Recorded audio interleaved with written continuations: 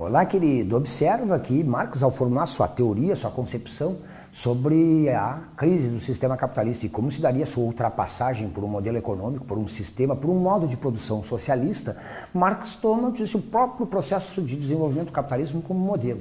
Percebe que ele tem raízes lá no fim da Idade Média, como ele vai se afirmando ao longo da Idade Moderna. Percebe também que, num certo momento, a burguesia precisou destruir que seriam os resquícios daquela velha ordem através das revoluções burguesas e a partir daí se abre caminho, então, para a Revolução Industrial, para a afirmação plena das relações de produção capitalistas. Ora, a teoria revolucionária de Marx, então, se inspira no próprio processo de formação do capitalismo e de ascensão da sociedade burguesa. Marx procurou observar o papel histórico que a burguesia cumpriu nesse processo de passagem do mundo feudal para o mundo capitalista e cria uma espécie de modelo de como se dariam, assim, as transformações de um modo de produção em direção a outro. Marx, em primeiro lugar, observa ao fazer, eu disse, essa crítica né, do capitalismo, ele percebe, em primeiro lugar, que o capitalismo durante um bom período foi, eu disse, um sistema que fez avançarem as forças produtivas. Ou seja, Marx percebe a burguesia inicialmente como uma classe progressista, revolucionária, que deu contribuições enormes para o avanço da humanidade, até o momento em que se esgotaram as possibilidades daquele modelo econômico e social, e a partir daí ele passou a representar muito mais um obstáculo, um entrave para o progresso do que propriamente beneficiar e estimular o desenvolvimento econômico. Como assim? Ora, Marx percebeu que a burguesia inicialmente cumpre um papel revolucionário. É a classe que nasceu lá dentro do mundo feudal, que questionou, por exemplo, a intolerância religiosa, que questionou, por exemplo, os privilégios da nobreza, que questionava, a partir de um certo momento, as práticas monopolistas e de intervenção do Estado na economia como elementos que prejudicavam o desenvolvimento econômico. Cumpriu um papel progressista na medida em que, ao destruir essa velha ordem, abriu caminho para inovações tecnológicas, para progressos econômicos que beneficiaram, de certo modo, o conjunto da humanidade. Sim, o progresso capitalista, em primeiro lugar, impulsionou o desenvolvimento científico e tecnológico. Observa que lá no mundo antigo a gente tem, por exemplo, civilizações que se desenrolam em um período de milhares de anos e quase não criam inovações tecnológicas ou, ou não geram assim progressos tecnológicos significativos. Por quê? Porque o trabalho escravo que predominava naquelas sociedades do mundo antigo desestimulava o progresso tecnológico. Os escravos, mantidos numa situação de ignorância, de penúria, de, de exploração extrema, não têm estímulo para desenvolver novas técnicas para produzir mais. Por que fariam isso? Os homens livres, que poderiam desenvolver novas tecnologias, novos conhecimentos, não tinham nenhum envolvimento com o trabalho e a produção, logo também não se ocupavam dessas coisas. Observe que nós temos, então, às vezes, civilizações que se desenrolam por períodos de milhares de anos sem grandes inovações tecnológicas, e até por isso sua estrutura também social e política quase não se altera, elas permanecem congeladas, vamos dizer assim, ao longo dos tempos. Aquelas sociedades do Extremo Oriente, por exemplo, estão organizadas de acordo com um modo de produção asiático, como se diz, que se sustenta por milhares de anos até a chegada do capitalismo, que vai destruindo aquelas, vamos dizer assim, formas primitivas de produção e de organização. Mesmo vale para populações indígenas aqui na América, que durante longo período viveram em moldes comunitários até a chegada do europeu e, vamos dizer assim, do capitalismo que vai quebrando e destruindo essas estruturas primitivas e impondo esse modelo novo de produzir, de transformar a natureza, de gerar riqueza. O fato é que, no seu desenvolvimento, o capitalismo impulsionou extraordinariamente os conhecimentos científicos e tecnológicos. Ainda hoje ele continua, pelo menos em alguns setores impulsionando progressos desse tipo, mesmo que eles sigam a lógica do capitalismo, no sentido de que eles desenvolvem aqueles setores que são atraentes para os investimentos e que trazem perspectivas de grandes lucros e muitas vezes se abandonam outros setores que poderiam ser também de extrema utilidade, vamos dizer assim, para a humanidade, mas se eles não estão diretamente vinculados aos interesses dos investidores, ficam estagnados ou não são estimulados como outros setores, onde aparece a perspectiva de lucro. Nossa época mostra isso com clareza. Algumas áreas, vamos dizer assim, tecnológicas se desenvolvem em ritmo acelerado, como as tecnologias de informação, por exemplo. Outras se desenvolvem de maneira muito condicionada. Né? Podemos pegar, por exemplo, é, a questão, a questão da saúde. Só se desenvolvem, ou melhor, se desenvolvem muito mais aqueles setores que oferecem perspectivas de lucro. E aí, no caso da medicina de hoje, por exemplo, a medicina voltada para questões estéticas é muito mais atraente em termos de investimentos do que propriamente, por exemplo, erradicar doenças de populações de países pobres, onde desenvolver novos medicamentos não traria lucros para os laboratórios, logo disso existe ali ou uma falta de investimentos, ou um descaso, ou um progresso tecnológico que é insignificante comparado com outras áreas que talvez não fossem tão importantes para o bem-estar social, mas são fontes de alta lucratividade para empresas e assim por diante. Isso é fácil de constatar. Pega a realidade de um país como o nosso hoje e percebemos, às vezes, pessoas de condição humilde comprando e adquirindo e utilizando é, equipamentos sofisticados e caríssimos, por exemplo, para se comunicarem com outras pessoas, e enquanto tem outras questões da sua vida funcionando precariamente. em função de que elas privilegiam, vamos dizer assim, a compra ou o consumo de dados produtos que lhes permitem se inserir socialmente, serem aceitas, serem valorizadas, e muitas vezes, vamos dizer assim, é, vamos usar o termo adequado, em detrimento ou abdicando de outras coisas que seriam importantes para a sua saúde, seu bem-estar, mas que privilegiam nos seus gastos aquilo, vamos dizer assim, que a dinâmica né, do, do, consumismo, do mercado, ou de se dar a necessidade da pessoa se aceita socialmente, levam ela, vamos dizer assim, a adquirir. De modo que é dessas coisas que nós estamos falando, de um progresso científico tecnológico, impulsionado no primeiro momento pelo capitalismo, mas que mais tarde vai estagnar, ou então vai ser distorcido, no sentido de estimular alguns setores e abandonar outros quando eles não são atraentes. A formação de um mercado de proporções mundiais é outra contribuição significativa do capitalismo. Ele promove uma espécie de integração das estruturas econômicas que estão, em princípio, isoladas umas das outras, mas vão se integrando através de uma rede de comércio que vai vinculando todas as partes do planeta. Hoje, não só uma rede de comércio, Hoje as telecomunicações permitem, por exemplo, investimentos feitos instantaneamente né, em qualquer lugar do mundo, nas bolsas de valores, ou investimentos que são transferidos de um país para o outro e assim por diante. Ou seja, também aí na formação de mercado mundial que integra todas as economias do planeta numa única estrutura econômica, o capitalismo deu contribuições importantes para a evolução da humanidade. E ainda mais, se nós considerarmos que no mundo antigo o trabalho escravo tá logicamente associado né, a uma condição de inferioridade, de indignidade, é desprezado, vamos dizer assim, pelos homens livres e por aqueles que têm capacidade intelectual. Então vamos considerar que o capitalismo também nesse sentido trouxe vamos dizer assim, uma contribuição importantíssima que foi dignificar o trabalho.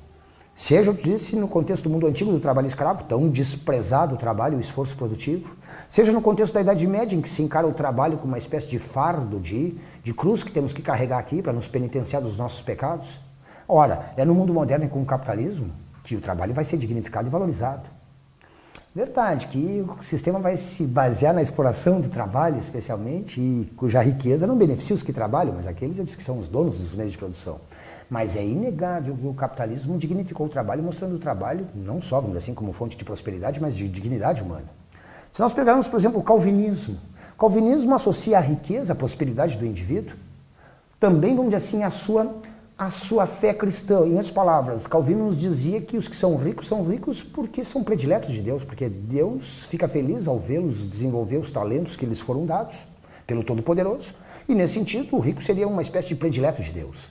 Ora, repare então que ao invés de condenar ou de ver o trabalho né, como algo indigno, ou um fardo, ou algo penoso, uma tortura, uma espécie de penitência, pelo contrário, coloca o trabalho como fonte de dignidade, de prosperidade e de afirmação do cristão frente aos seus valores, né, frente às suas crenças e assim por diante. Ora, em vários sentidos, então, o capitalismo, pelo menos no seu estágio de formação, no seu estágio, vamos dizer assim, de apogeu, impulsionou avanços tecnológicos, a formação de uma economia que integra todas as partes do mundo, a dignificação do trabalho e do esforço produtivo, mas, como nós já percebemos, se esse sistema que impulsionou todos esses progressos, num certo momento ele atinge seus limites, entra em contradição, e aí os avanços tecnológicos vão estagnando ou vão sendo dirigidos só para alguns setores, esse mercado mundial vai se formando de maneira muito desigual, com algumas regiões espolhando e concentrando riqueza às custas do trabalho e da riqueza de outras regiões, e a própria dignificação do trabalho, né? que passa por um processo depois inverso, no sentido da exploração, da degradação das condições de vida dos que trabalham e produzem,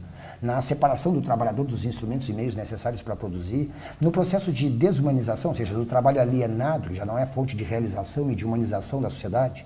O esgotamento, então, a crise, a superação do sistema capitalista levariam a uma nova época. E Marx vai nos formular, vamos dizer assim, uma espécie de, de roteiro de como se daria, vamos dizer assim, a passagem de uma época para outra, de um modelo econômico, de um modo de produção para outro. Mas vou insistir contigo, ele não inventou essa teoria. Se baseia no próprio processo histórico de evolução do capitalismo para entender como ele surgiu, como se desenvolveu, como entrou em crise. E a partir daí propõe, disse, a organização da sociedade em outros modos, um novo modelo, um modelo socialista, que promoveria de novo a expansão das forças produtivas, restabeleceria o processo de humanização do homem através do trabalho, de um trabalho que já não é mais alienado, mas um trabalho que é fonte de realização e de benefício para toda a sociedade, além do próprio indivíduo que trabalha.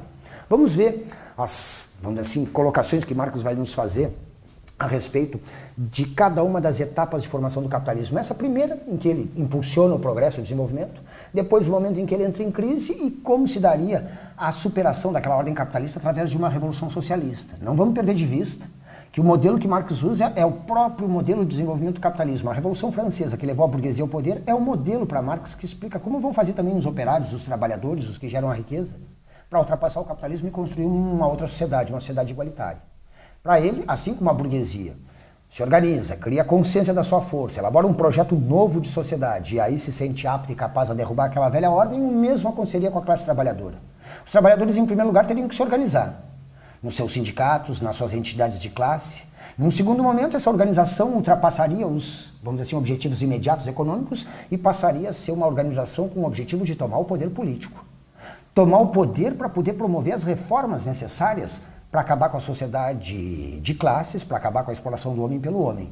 Essas transformações basicamente passariam por um governo controlado pelas classes trabalhadoras, uma ditadura do proletariado, como dizia Marx. Cuidado com a expressão, o termo ditadura aqui já nos faz ver esse termo, né, essa expressão, vamos dizer assim, com maus olhos. Mas aqui é só um trocadilho, querido. Porque para Marx, o que, que seria a ditadura do proletariado? O que, que é proletariado? O proletariado para ele era aquela classe que não tendo mais nada, ou seja, a não ser os filhos e a sua capacidade de produzir, os trabalhadores, né, despossuídos, vamos dizer assim, de propriedades ou de qualquer outra coisa que não fosse sua força de trabalhar e os próprios filhos, vamos dizer assim, que ele sustenta e que o ajudam nesse esforço produtivo. Ora, a ditadura do proletariado para Marx seria a ditadura de 99% da população. Ou seja, a verdadeira democracia, ou se não uma democracia no sentido pleno da palavra, aquele sistema que garantiria, assim, que a maioria da população, os que trabalham e que produzem, possam governar e impor sua visão de mundo e sua forma, vamos assim, né, de produzir para o conjunto da sociedade. Ou seja, no poder, os trabalhadores organizados aboliriam a propriedade privada dos meios de produção. Aquilo que gera riqueza, terras, fábricas, transportes, fontes de energia, seriam socializados. Não teriam mais a propriedade de um indivíduo ou de uma empresa, mas pertenceriam ao conjunto da sociedade. Seriam administrados coletivamente e seus frutos seriam, vamos dizer assim, distribuídos de maneira igualitária. Abolir a propriedade privada dos meios de produção significa abolir a propriedade ou socializar o que gera o sustento da sociedade. Cuidado aqui, né? Visões mais simplistas costumam imaginar que numa sociedade, como essa imaginada por Marx, ninguém seria dono de nada. Ele não afirmou isso.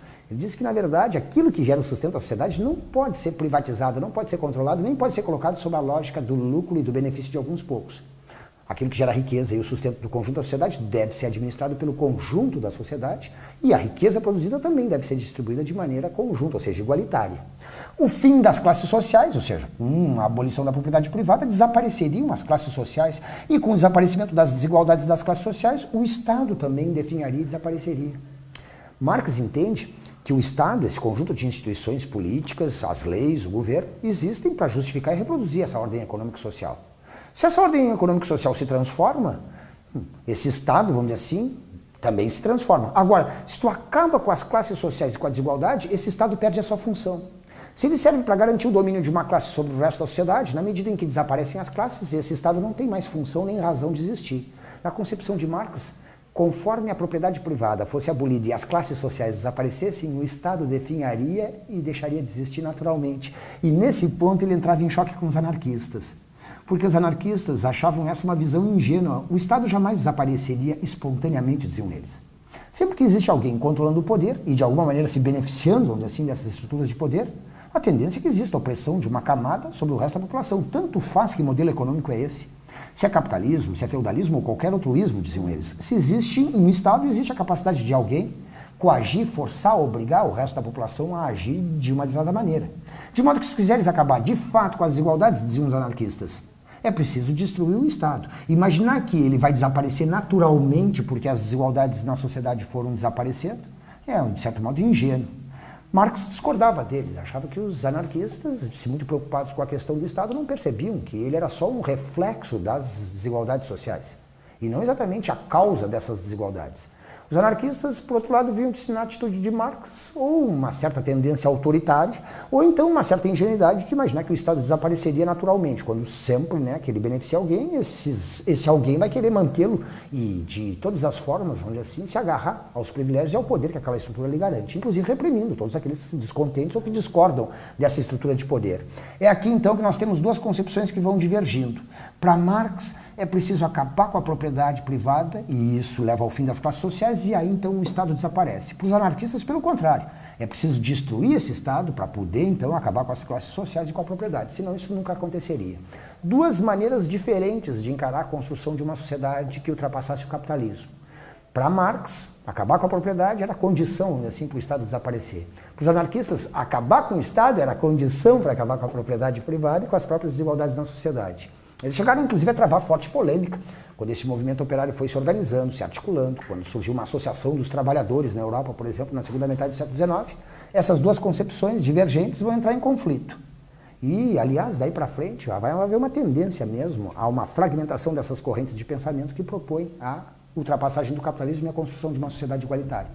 Nós vamos ter várias vertentes, por exemplo, o marxismo, o anarquismo, o anarcossindicalismo, eles divergem com relação à forma de construir essa nova sociedade. Todos eles são unânimes em desejar, em almejar, em projetar no futuro uma sociedade igualitária em que desaparecesse a exploração do homem pelo homem. Só que como construir a sociedade é que leva eles a uma divergência. Ou seja, não tanto com relação aos objetivos a serem atingidos, mas a maneira através da qual esse objetivo devia ser buscado e devia ser construído. Vamos ver, disse, em outro momento, essa divergência se acentuando entre marxistas e anarquistas, num outro momento do movimento operário. Agora, nos próximos encontros, vamos procurar ver, basicamente, como Marx situou a origem do capitalismo sua evolução até esse momento em que a Revolução Industrial afirma o capitalismo, em que fica plenamente caracterizado esse sistema, e aí a proposta de ultrapassá-lo.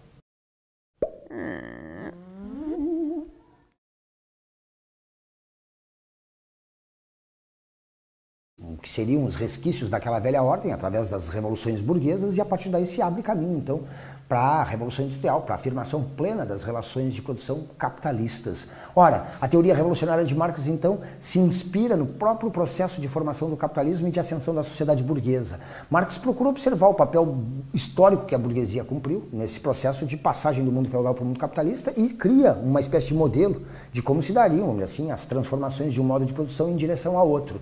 Marx, primeiro lugar, observa ao fazer, eu disse, essa crítica né, do capitalismo, ele percebe, em primeiro lugar, que o capitalismo durante um bom período foi de intervenção do Estado na economia como elementos que prejudicavam o desenvolvimento econômico. Cumpriu um papel progressista na medida em que, ao destruir essa velha ordem, abriu caminho para inovações tecnológicas, para progressos econômicos que beneficiaram, de certo modo, o conjunto da humanidade. Sim, o progresso capitalista, em primeiro lugar, impulsionou o desenvolvimento científico e tecnológico. Observa que lá no mundo antigo a gente tem, por exemplo, civilizações que se desenrolam em um período de milhares de anos e quase não criam inovações tecnológicas ou, ou não geram assim progressos tecnológicos significativos. Por quê? Porque o trabalho escravo que predominava naquelas sociedades do mundo antigo desestimulava o progresso tecnológico. Os escravos, mantidos numa situação de ignorância, de penúria, de, de exploração extrema, não têm estímulo para desenvolver novas técnicas para produzir mais. Por que fariam isso? Os homens livres, que poderiam desenvolver novas tecnologias, novos conhecimentos, não tinham nenhum envolvimento com o trabalho e a produção, logo também não se ocupavam dessas coisas. Observe que nós temos, então, às vezes, civilizações que se desenrolam por períodos de milhares de anos sem grandes inovações tecnológicas, e até por isso sua estrutura também social e política quase não se altera, elas permanecem congeladas, vamos dizer assim, ao longo dos tempos. Aquelas sociedades do Extremo Oriente, por exemplo, estão organizadas de acordo com um modo de produção asiático, como se diz, que se sustenta por milhares de anos até a chegada do capitalismo que vai destruindo. Existe um sistema que fez avançarem as forças produtivas. Ou seja, Marx percebe a burguesia inicialmente como uma classe progressista, revolucionária, que deu contribuições enormes para o avanço da humanidade, até o momento em que se esgotaram as possibilidades daquele modelo econômico e social, e a partir daí ele passou a representar muito mais um obstáculo, um entrave para o progresso do que propriamente beneficiar e estimular o desenvolvimento econômico. Como assim? Olha, Marx percebeu que a burguesia inicialmente cumpre um papel revolucionário. É a classe que nasceu lá dentro do mundo feudal, que questionou, por exemplo, a intolerância religiosa, que questionou, por exemplo, os privilégios da nobreza, que questionava a partir de um certo momento as práticas monopolistas e